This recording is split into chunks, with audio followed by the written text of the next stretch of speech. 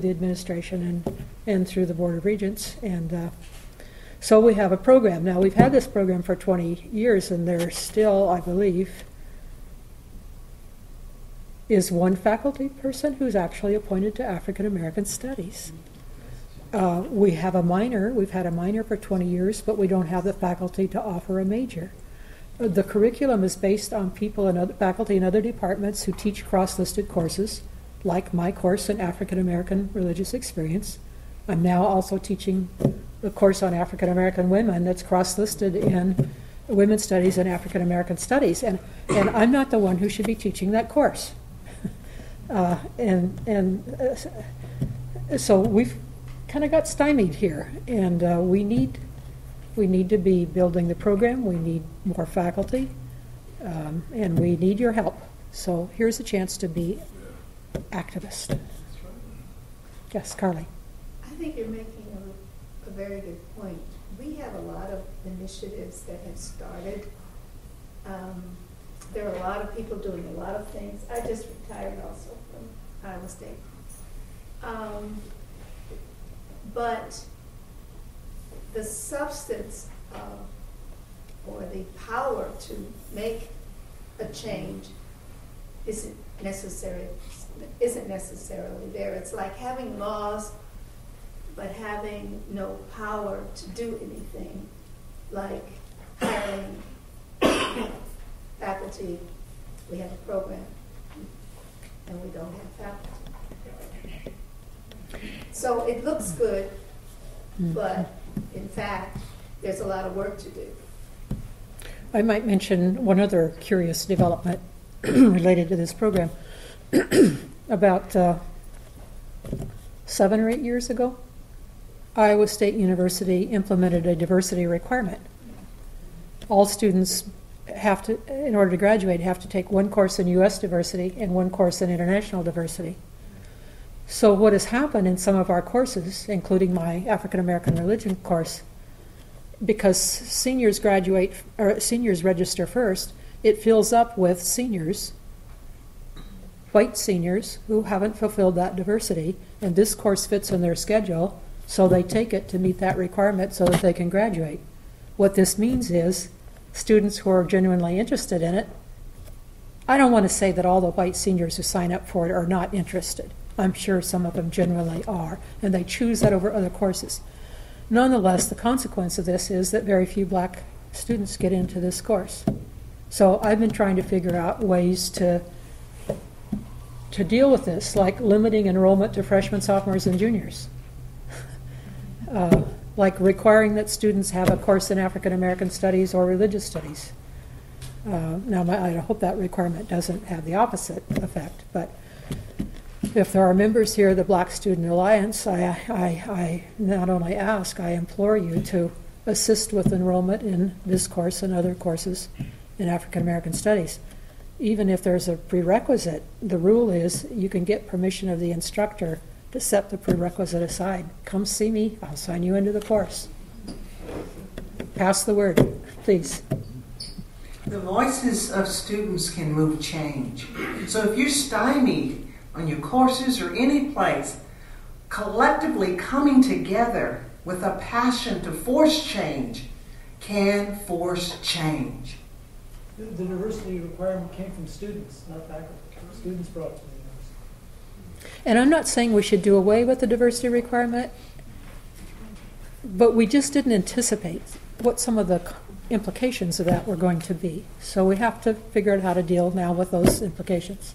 And there's a lot of really, I don't, I didn't want to leave the impression there's nothing going on. There are a lot of things going on. Uh, it's just that, of course, uh, it may appear better on paper when you see all the things than it actually is. That's all, because there's a lot of good things going on. Uh, from my perspective, um, uh, in my 30 years of being here, the black communities, we, we I'm in Des Moines, we had never connected to Ames. Um, and I've been doing my thing in nonprofits, consulting, traveling the world, but we never connected to Ames. One thing for us baby boomers, and I don't have an answer for you, but uh, if I had to do it all over again, I would make sure that I knew most of the people that I should have known years ago, because we don't connect. We don't connect to Waterloo. Uh, we don't connect. We only got about 50,000 blacks in this whole state, and, um, uh, and about over 3 million whites. So what I found out is that when I got educated back in the 70s, I was so excited. But I should have started going and traveling to Dubuque and Sioux City and other places and start helping those brothers and sisters who them never got educated. You know, I went to two graduate schools and I couldn't read and write when I left high school. So I've been very blessed to have my own consulting company do a lot of things. I teach a lot of people around the world how to be successful. But I'm in my 50s now. If I had to do it all over again, I wish I could connect it. Because what we have now is communities like Ames, like Des Moines, like the Dubuque, and Sioux City with no infrastructure and no middle class to even think about.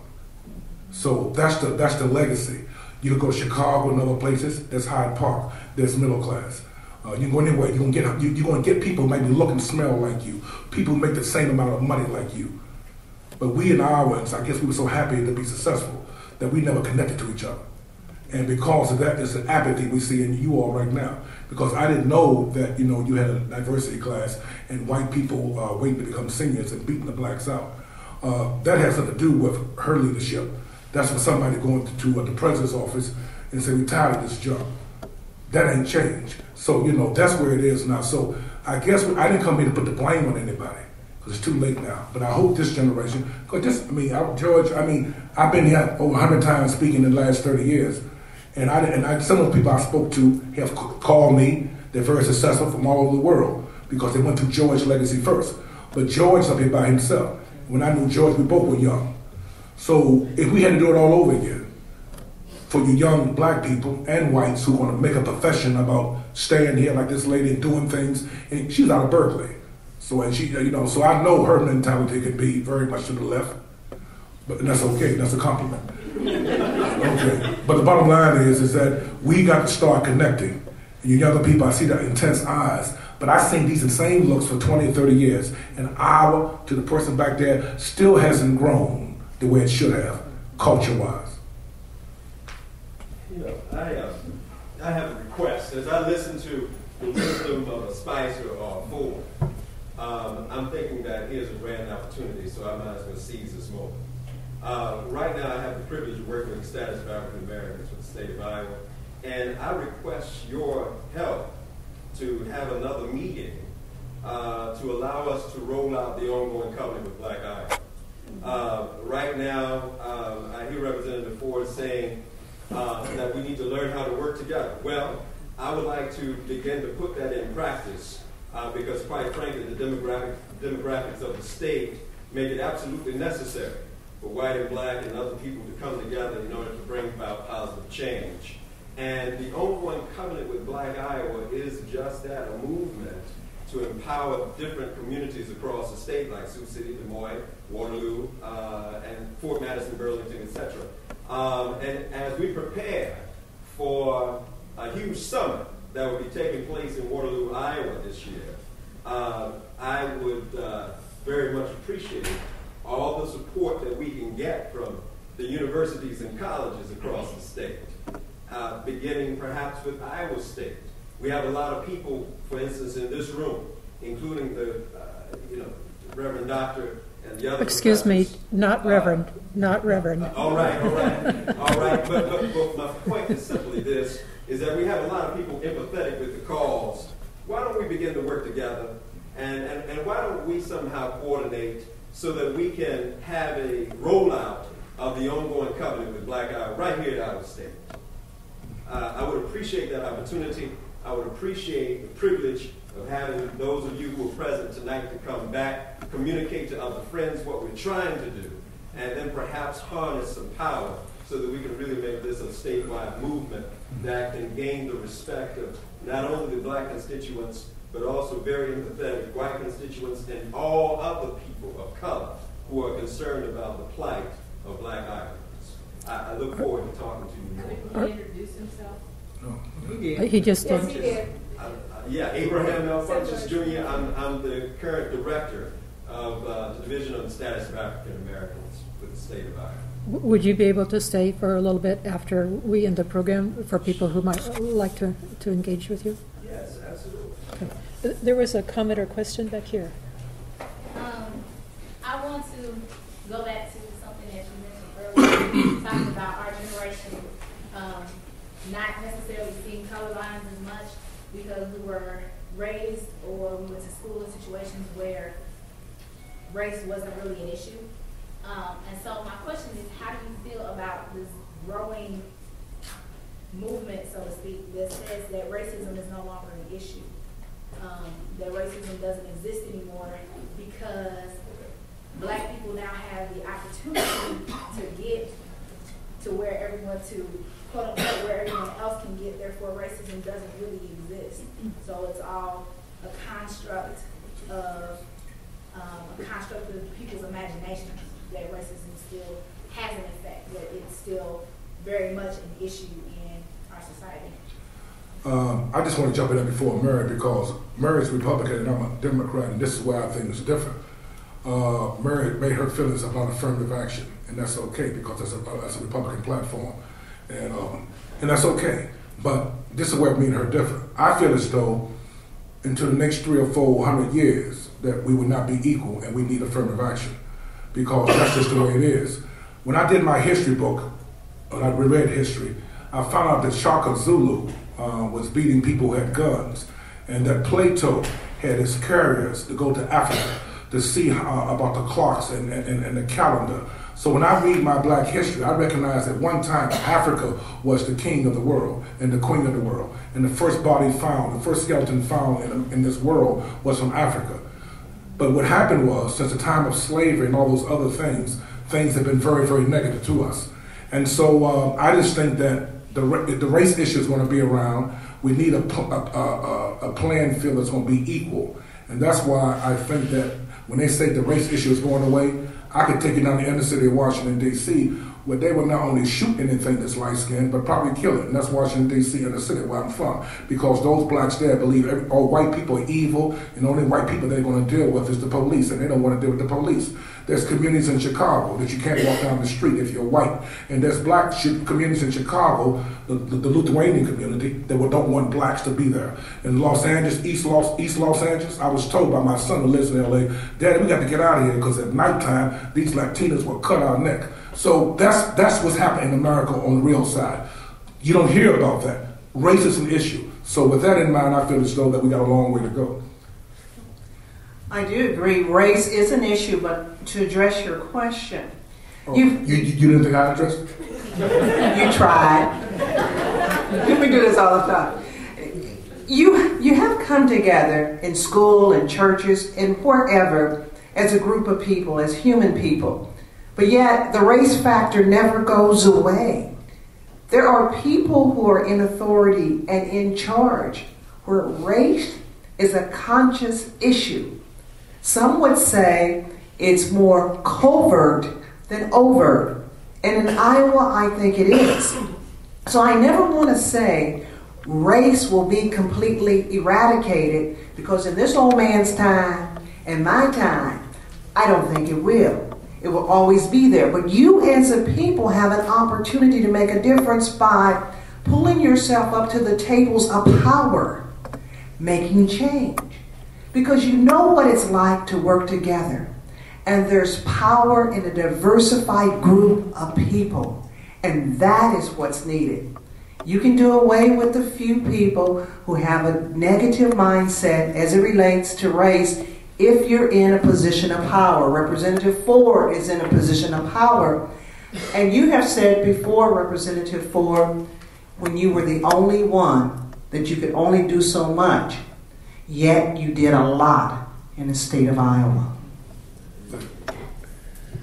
I think we have time for one more question or a comment. If, yes, in the back. On immigration, you know, last month or two months ago, we had uh, illegal immigrants herded out in Iowa in a way that reminded some of us of things that happened in World War II in other parts of the world and in the United States. What are you, you both of you are, are prominent in the two, political, two major political parties in this state, and we're getting ready to have the caucuses here in the next year. Hillary kind of kicked it off last weekend. What would each of you advise the major candidates on the, on the Democratic side of the? And I don't know who the top three are on the Republican side, but Giuliani and, and uh, McCain. What would you advise to them about immigration. Because, and I'm from the South, I'm from North Carolina. Obviously, white black is what I've grown up with. And we're in a new world now. Uh, Latino population of the state was 4,000 20 years ago, and now it's quadruple that. That's where we're headed. And we could also talk about Asians and, and Eastern Europeans and Africans too, but Latinos stand out the most. So what kind of uh, advice would you give the top candidates as we enter this You know. Thank you for that. That's a, a very timely question. Even though I'm Republican, as I told you before, I am black first. I do have a problem when we discriminate against anyone, when we show prejudices against anyone. America was founded on immigrants. Supposedly, we are a welcoming state. I think candidates have to speak to the issues that human beings want addressed. That is a coming together of all people in this brand new global society. The uh, Des Moines Register reported that uh, people in Iowa who did the poll said 60% is okay with a, a black, 50% is okay with, with a woman, but only 40% would really appreciate a Latino. Uh, when I was out in California, my son told me some things uh, Latinos and blacks and whites don't get along. Compton is almost, uh, you know, Latino now. Uh, uh, Watts is mostly Mexican. Things have changed. But he said, Daddy, they, they believe in one thing. They feel as though that we stole their country. And they don't believe in birth control. So let's put two and two together. Bottom line is their numbers are overwhelming to us. And there's some people who believe that they did steal, that we did steal the country from them. And so with that in mind, I think that um, they are c- coming back in ways that many of us never thought possible. I'm originally, me and my wife who's in the back there, we're from North Carolina. And you know, North Carolina has some of the largest increases of Latinos in the world. I mean, the country, in the country, because of all the pig factories down there and, and stuff like that. I feel as though that um, it's doing a kind of bad thing because in prison, blacks and Latinos kill each other pretty quickly. Uh, some of the toughest gangs in prisons are black and Latinos. And so they're trained to kill each other inside the joint.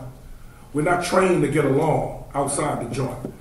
I would say, I, this is where me and her agree, that this younger generation, if you all going to grow up the rest of your lives and live in communities that only look like you because you're scared, then I don't know what the hell you're in college for. I w- I wouldn't give you a dime for your life. I'm gonna say it again because again, we did the Vietnam thing, make you know, make this and that. We did all those things. You know what I mean? Now the baby boomers, you see it now. You know, right now we're gonna have more people retiring now than ever before. We're not gonna leave you any Social Security because we're gonna keep on upping the budget because we're gonna take care of ourselves. We're more, we, we, we're way more selfish than most of you young kids are, and y'all can't even see it. Y'all y'all can't even vote us out. In the last election, we thought at least 30, I think 18% of young people voted. There was none, there was, I think the numbers was 20, 25. If that, if, if, if every time you all vote, you could vote us out tomorrow. Young people, you don't even vote. Those you who have registrations here, who live in other communities, do you send your ballot back? Do you vote back home in Indiana when you're here in college? So you have the power to control the world. And as I close on this thing about Clockwork Orange, and you, you younger people need to see this movie, and you old birds already know where I'm going. Stanley Kubrick did a thing, and it scared the hell out of me when I first saw it, but I can see why. He said, once you get 30 years old in this Clockwork Orange, y'all know where I'm going, they want to kill everybody who's 30 and, over because we was obsolete. You got some challenges. Professor, before you close out, I do want to mention three books that I, I think would be beneficial for those of you out there who love to read and you want to know about the civil rights movement from a religious perspective and just from a civil rights pers- perspective. The first book that I have is entitled My Soul Looks Back in Wonder, and it's by Juan Williams. And it's a very good book. You can get it at any bookstore.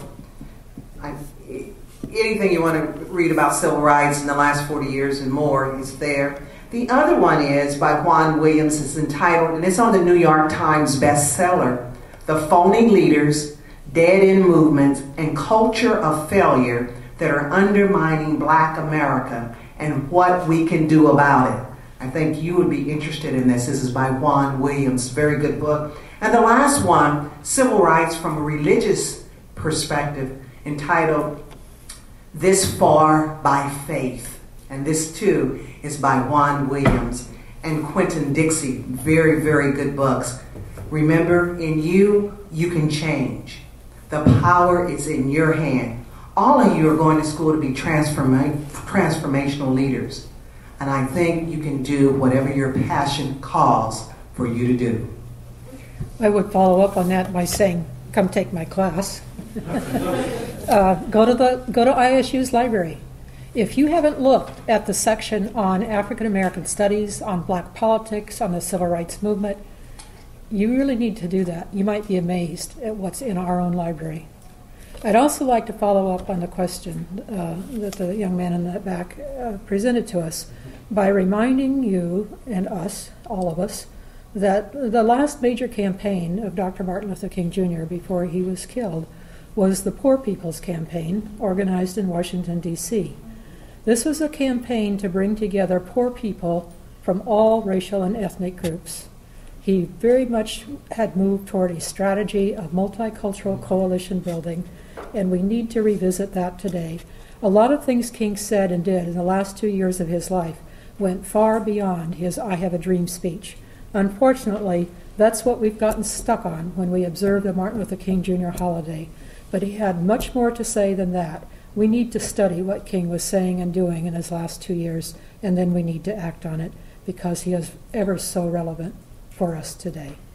Thank you for coming. Thank you for your participation and your attentiveness, and thank you especially for coming.